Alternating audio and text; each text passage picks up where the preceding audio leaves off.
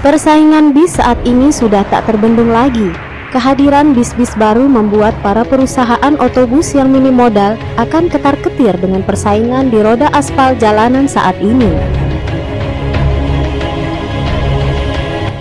Pulau Sumatera merupakan pulau bagian dari Indonesia yang terdiri dari hutan belantara dan jalan yang berliku.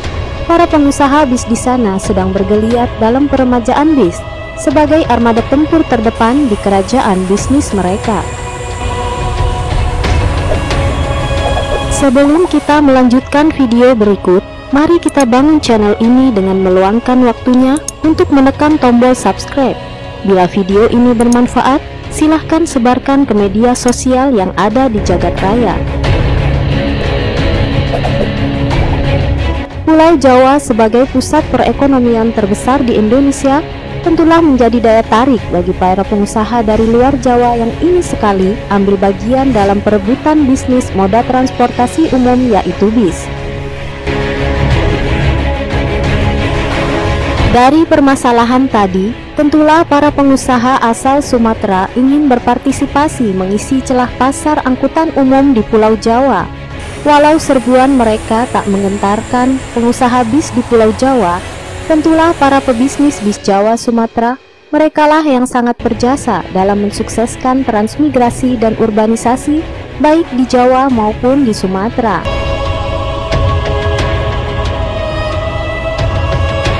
Dengan kelengkapan tameng berisi perisai kawat besi, kedatangan bis Sumatera di Pulau Jawa tak seindah yang kita bayangkan. Berjibaku dengan jalan yang ekstrim dan ganas, tentulah kehadiran bis Sumatera di gerbang Bakahuni dan Merak dengan sekujur badan bis yang kucel dan kotor.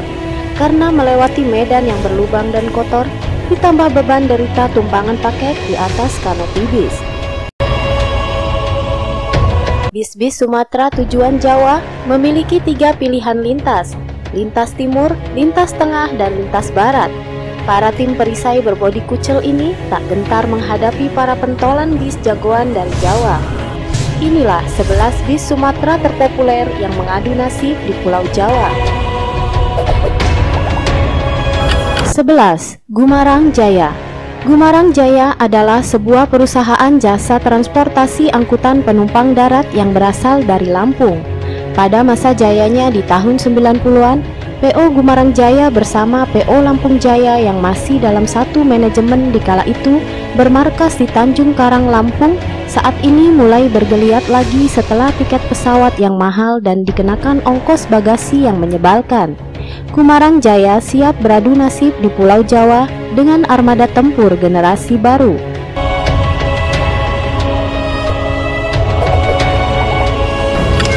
Sepuluh ANS ANS yang merupakan akronim dari aman nyaman sampai tujuan yang didirikan pada tahun 1960-an yang berasal dari Bukit Tinggi, Sumatera Barat. Pada era 1980-an hingga 1990-an, ANS pernah melayani rute Banda Aceh dan Pasar Bali, merupakan trayek terjauh di Indonesia pada masa itu. Kegagahan ANS pada masa itu tinggal kenangan. Kini ANS hanya mampu mengadu nasib di Pulau Jawa dengan sebatas Jabodetabek saja.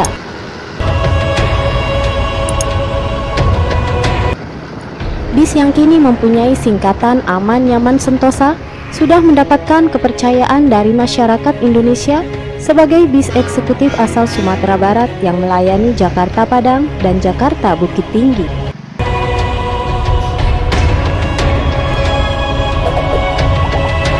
9. Medan Jaya Bis dari Sumatera ini sering dijuluki sebagai sang peluru dari Medan karena terkenal dengan kecepatannya. Bis Medan Jaya ini melayani berbagai trayek yaitu dari Medan menuju Jakarta yang memiliki jarak tempuh kurang lebih 1993 km dengan waktu tempuh kurang lebih 45 jam.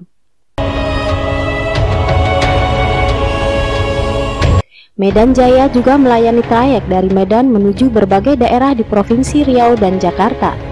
Bis kebanggaan Medan ini memilih Jawa khususnya Jakarta sebagai tempat mengadu nasibnya bersama rekan-rekan lainnya dari Sumatera.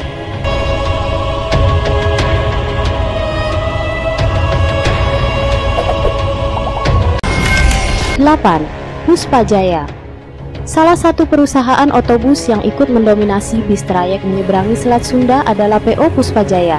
Tidak disangka bis yang berasal dari Bandar Lampung ini didirikan oleh seorang transmigran asal Bali, yaitu Bapak I Ketut Narya yang memulai tonggak sejarah PO Puspajaya pada 31 Oktober 1980.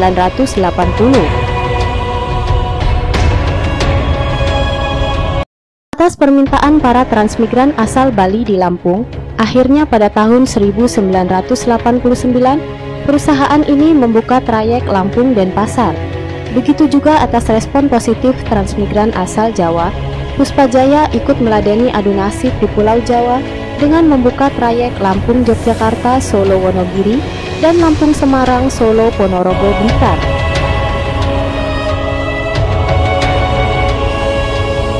Bis idola Transmigran ini kini menjadi bis favorit orang Jawa yang menuju Sumatera.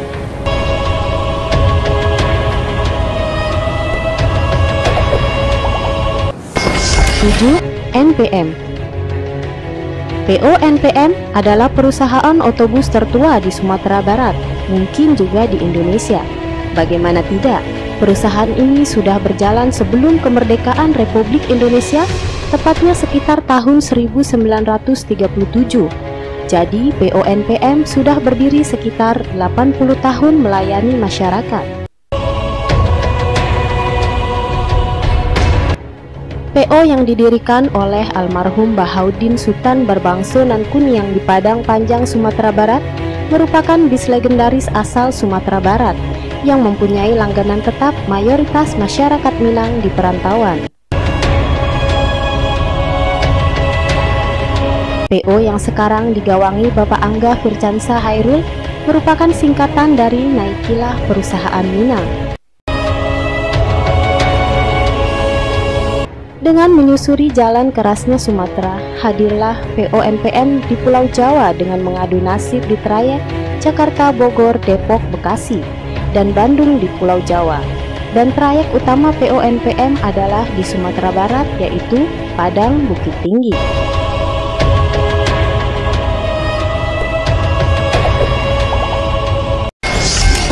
Enam, Putra Pelangi Perusahaan otobus dari Banda Aceh ini kerap dikenal dengan bis-bis kelas atas karena terkenal kemewahan hingga kenyamanan yang ditawarkan.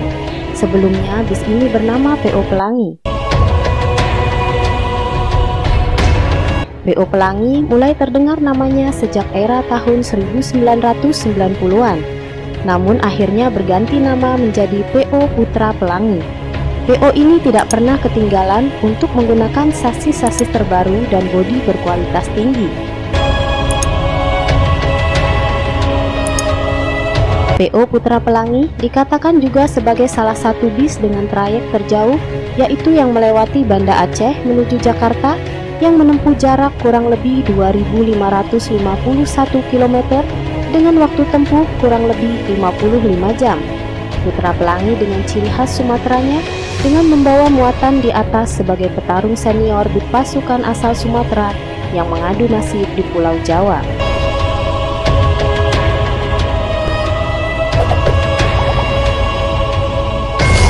Lima, Siliwangi Antarnusa Sun Group adalah kelompok usaha yang didirikan oleh Haji Hasanuddin Adnan yang dirintis sejak tahun 1978 Transportasi San Group yang dikenal dengan PO San atau PO Siliwangi Antar Nusa adalah perusahaan otobus asal Bengkulu.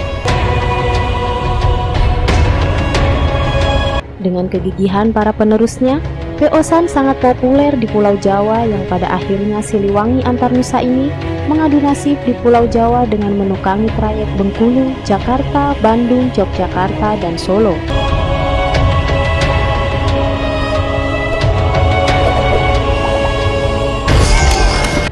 4. PM TO PMTO sendiri merupakan singkatan dari Perusahaan Motor Transport Owner Member Hasan yang sudah bergerak di bidang transportasi sejak tahun 1957. Bis dengan sering tampil kecil ini melayani trayek dari ujung Sumatera sampai ujung Jawa. Tampilannya yang kucel merupakan imbas dari medan jalan ekstrim yang dilewati dari Sumatera sampai Jawa Ditambah beban bis membawa bawaan cukup berat dengan paket-paket yang mengumpul di atasnya.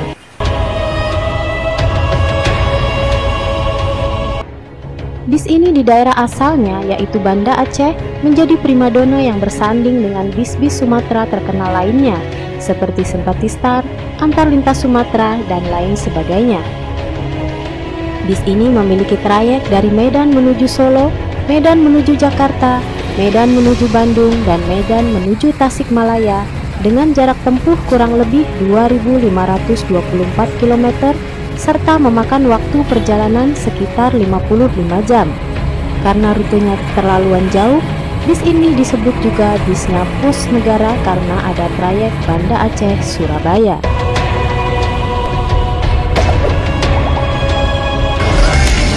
Tiga, Family Raya Ceria Perusahaan otobus yang berawal dari usaha rumah makan ini berangkat dengan armada-armada lawas, berbusana seadanya, minim trayek dan sempat masuk dalam kategori mobil perang.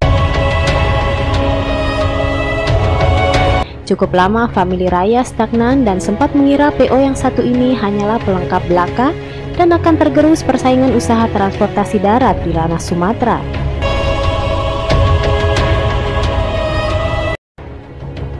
Bis yang bermarkas di Kabupaten Merangin, Jambi ini berani menginjak aspal Jawa dengan mengadu nasib di beberapa jurusan dari Sumatera ke Jawa seperti Ponorogo, Surabaya, Blitar, Pati, Semarang, Solo, Yogyakarta, Tasikmalaya, Bandung, dan Jakarta.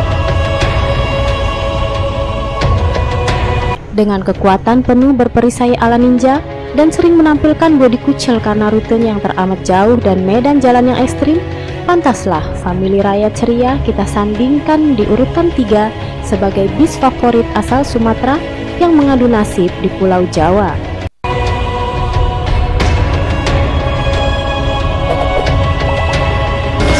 Dua, Simpati Star PO Simpati Star berawal dari PO Bintang Sempati yang mana PO Bintang Sempati sudah tidak beroperasi lagi selama lebih kurang satu tahun lamanya. Oleh karena itu, pada tanggal 28 Mei 2012, PO Bintang Sempati diambil alih menjadi bis Sempati Star. PO Sempati Star merupakan salah satu perusahaan otobus yang saat ini boleh dibilang fenomenal karena PO Sempati Star merupakan PO asal Sumatera yang pertama kali memiliki bis double decker terbaru besutan karoseri Adiputro.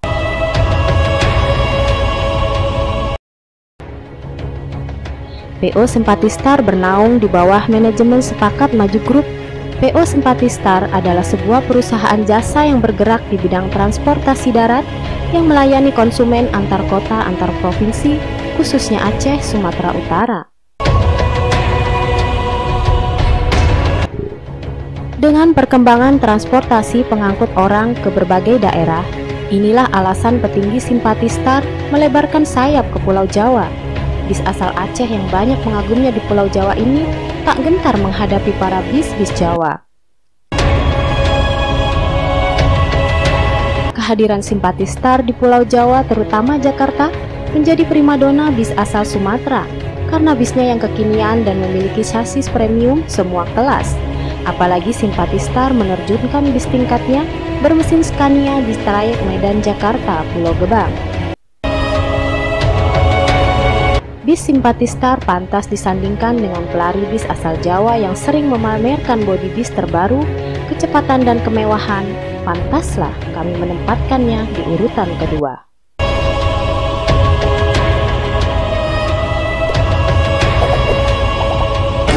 Satu, ALS ALS atau Antar Lintas Sumatera Perusahaan otobus yang berdiri di wilayah Mandailing ini terkenal sebagai sang penguasa jalanan ia juga terkenal sebagai bis dengan barang bawaan paling banyak di atasnya. Maka dari itulah sering juga dikenal dengan si Raja Paket yang berasal dari Sumatera. Dengan menempuh jarak berhari-hari dari Sumatera menuju Jawa, bis ALS ini tak gentar dengan persaingan bis di Jawa yang sering memamerkan kecepatan dan keindahan bodi bis.